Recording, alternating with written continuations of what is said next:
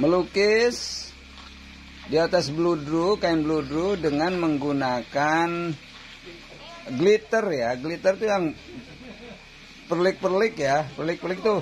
Kalau di ininya kelihatan kelip-kelip seperti ini. Ya, mengkilat-kilat bling-bling ya seperti ini. Ya, caranya bagaimana? Kita pakai lempok. Lempok dulu dikasih lempok ya, digituin dikasih lempok. Ya. Kasih lempok. Nanti setelah itu ditaburin deh Pak Erwin. Nanti ditaburin. Ini kalau bukan di kamera, ya ini kalau kamera nggak kelihatan mengkilat-mengkilatnya ya. Tapi kalau di eh, yang nyatanya ini mengkilat-mengkilat ya. Nah, setelah itu nanti kita ya dikasih apa namanya lempok ya, lempok. Baru kita taburin. Mainkan Bang. Dimainkan. Tapi jangan terlalu penuh. Kalau terlalu penuh justru akan eh, apa namanya menghilangkan fokus pandangan kita. Ya, maksudnya di eh, pada eh, bludru hitam ini menggambarnya jangan full ya, jangan full sehingga ah, nah kita taburin tuh, kita taburin. Tadinya putih karena lempok kan putih, tapi sebenarnya dia kalau udah kering dia bening. Ya. Seperti itu. Ya oke, di- baru dikepruk-kepruk supaya ya dikepruk-kepruk. Ya, dikepruk-kepruk sampai sampai sampai putihnya habis. Ya. Nah, dikepruk-kepruk begini. Nah, seperti itu. Ini glitter ya. Nanti akan saya kasih tahu apa sih glitter itu. Ya oke, baik. Masukkan ke situ. ya, dikebrukin. Nah. Ah, jadi daun kelapa ya. Oh, daun kelapa. Ini ini mengkilat-kilat ya, bernik-bernik ya. Tuh, jadi daun kelapa. Ya, seperti itu sahabat-sahabat semua. Nanti ya kita udah sket dulu ya tadinya supaya jangan terlalu campur ya. Kita sket dulu.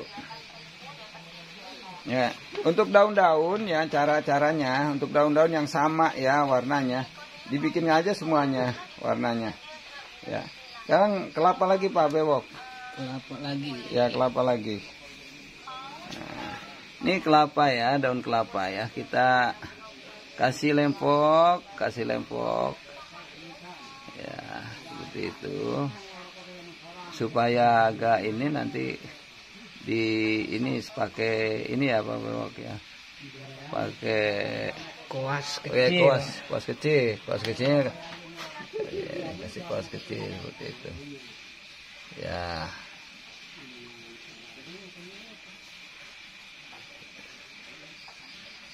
Ya memang tidak detail ya, tidak detail banget. Kenapa? Karena kalau terlalu detail juga agak agak repot juga. Nah, kita ya ini memang modelnya gambarnya begini ya. Gambarnya begini tidak terlalu detail ya. Ya. Masih putih tuh, seperti itu. Ya putih. Nanti kalau kita masukkan bling-blingnya atau eh, glitternya baru akan kelihatan. Ya sambil nungguin Bapak Bewok eh, memberi warna, ya memberi warna.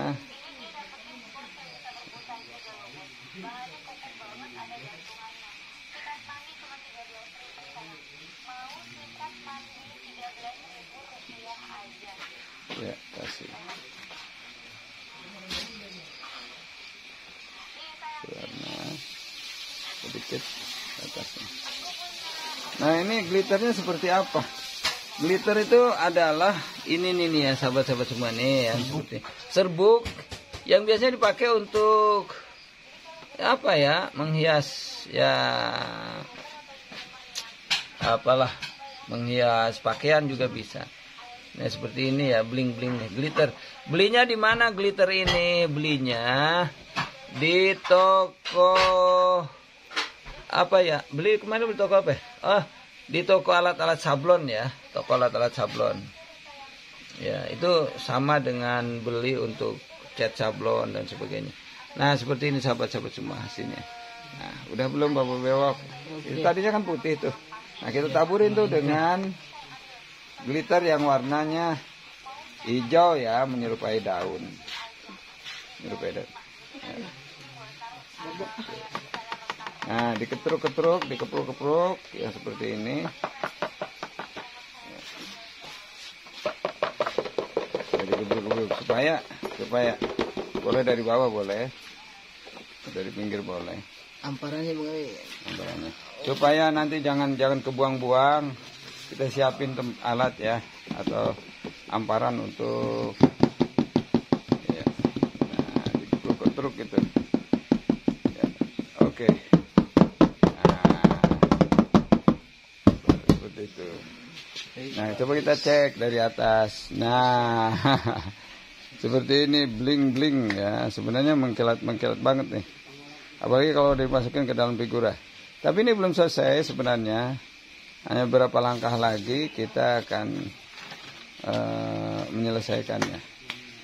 Ya. Sekali lagi untuk kain bludru ini menggambarnya ini kesannya adalah kesan malam ya walaupun jadi seakan-akan malam sehingga tidak sepenuhnya semuanya kelihatan eh, ya hanya apa namanya bagian-bagian tertentu saja yang kelihatan sebenarnya. Jadi tidak full tidak full warna hitamnya diwarnain. Justru dengan full warna hitam diwarnain justru akan jadi masalah. Akan tidak tidak fokus ya. Ya gitu sahabat-sahabat semua jadi ini cara menggambar dengan menggunakan glitter. Ya kita lanjut. Ini gambar gunung. Gunungnya jangan full. Gunungnya atas sedikit aja. Up. ya. Ya pojokan atasnya yang agak agak lancipnya agak banyak. Ya. Up, up. jangan jangan full sorry ini untuk gunung nih harus ini. Nah, yang ininya yang yang banyaknya kurang lemnya tengah aja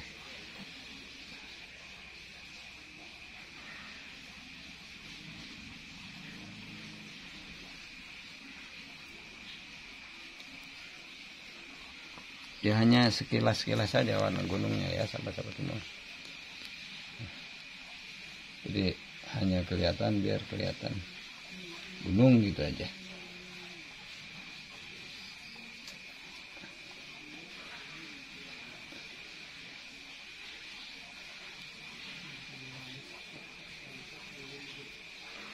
Ya sip. Ya segitu aja warna gunungnya Bang Ewin. Putihkan, diputihkan. Putih. Ya, warna gunung putih biar kelihatan bahwa itu adalah ujung dari apa namanya Terang rembulan. Ya. eh, gunung eh, bersalju.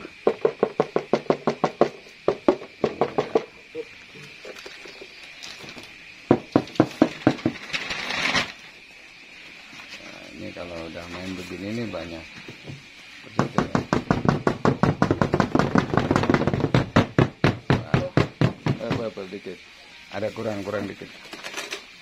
Kesan gunungnya agak kurang dikit, dikit ke bawah ini. Ya.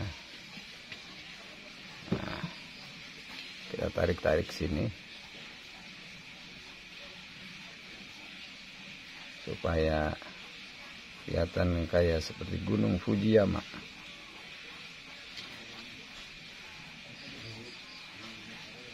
Nah, jangan terlalu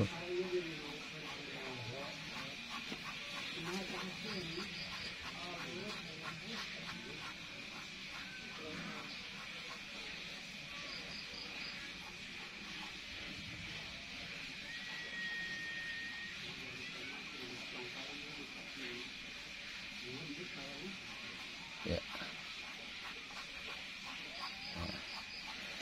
Nah, ini kelihatan Gunung Fujiyama. Sebenarnya tadi kita gambar gunung dulu. di belakang sehingga ini kelihatan ke sini nyentuh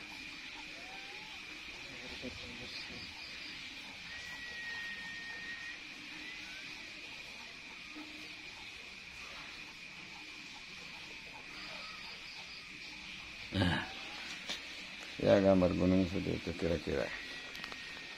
Nah, apa yang kurang? Ini kayaknya harus yang ini dikasih warna-warna ini apa namanya? Uh, ini lagi hijau lagi hijau agar kesannya ada ada ada tapi itu dia eh eh, kurang lempeng dikit. Apanya?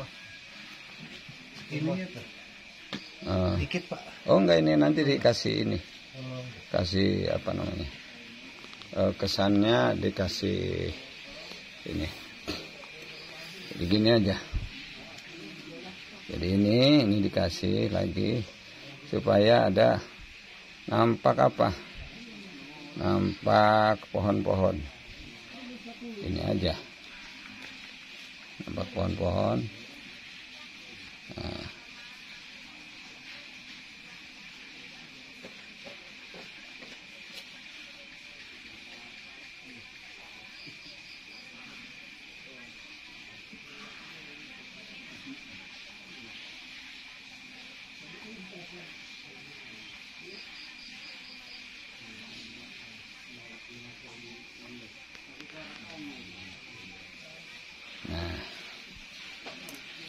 Biarin ke sini juga tabrak, tidak apa-apa.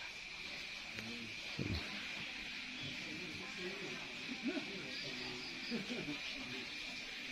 Biar ada kesan eh, itu apa namanya?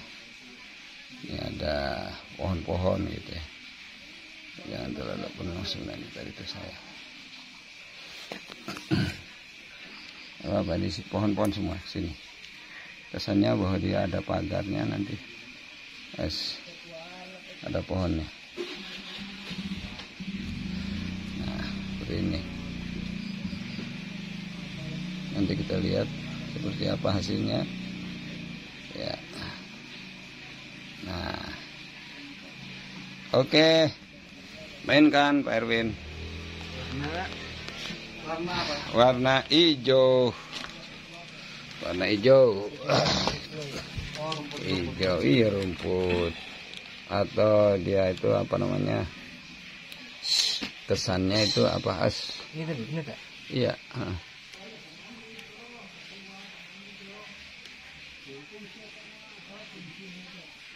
kesannya kesan bahwa di situ ada rumput-rumput atau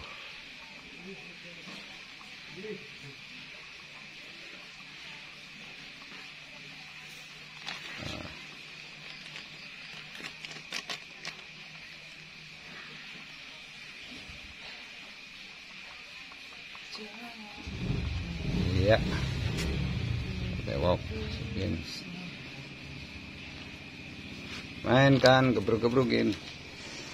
Ya.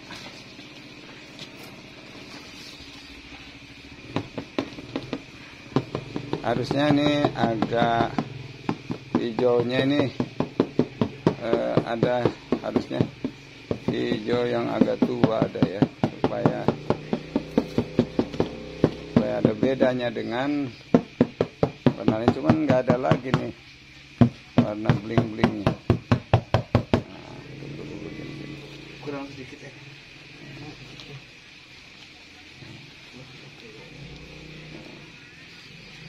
Ya gebruk-gebrukin ya sip ya. nah oke ada kesan sedikit ya. Kesan bahwa itu ada eh, pohon-pohon ya. Nanti supaya agak lebih bersih lagi nanti dikeringkan dulu. Udah kering baru bersih nanti dia. Ya. Kayak gitu sahabat-sahabat semua. Ini belajar. Sebenarnya saya eksperimen ya. Eksperimen tapi ternyata kelihatannya agak lumayan lah. Ya. Nah, tinggal sedikit langkah. Jadi ini karena apa namanya bling-bling jadi kita susah juga untuk memadukan secara detailnya. Tapi ya bisa saja sih kita menggunakan lebih detail lagi.